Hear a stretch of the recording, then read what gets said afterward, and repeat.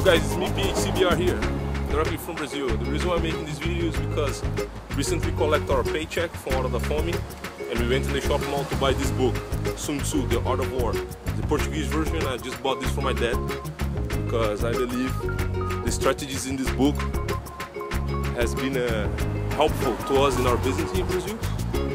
And I believe my dad should identify them as well, just like we did.